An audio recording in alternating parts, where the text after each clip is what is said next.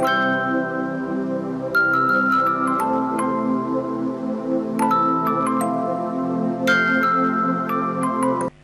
mừng quý vị và các bạn đã đến với bản tin dự báo thời tiết ngày hôm nay và ngày mai trên kênh VTPT. Thưa quý vị và các bạn, trong hôm nay, tàn dư của không khí lạnh cũng chỉ đủ tình trạng mây nhiều. Cùng với đó là mức nhiệt xe lạnh từ 19 đến 22 độ ở các tỉnh miền Bắc. Tuy nhiên, hiện tượng sương mù xuất hiện lúc sáng sớm đến trưa chiều, miền Bắc sẽ có nắng ấm. Sương mù sẽ tăng nhanh và nhiệt độ cũng tăng dần.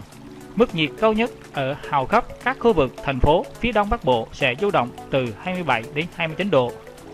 Ở phía Tây Bắc Bộ, nhiệt độ cao hơn, dao động trong khoảng từ 29 đến 32 độ.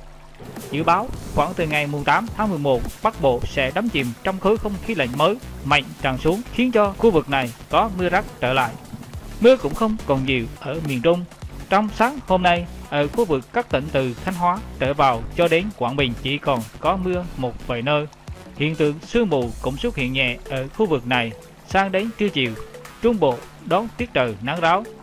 Mức nhiệt cao nhất trải dài từ Thanh Hóa cho đến Thừa Thiên Huế trở vào Đà Nẵng, Quảng Nam đến Bình Thuận dao động từ 30 đến 32 độ, trời nắng ấm.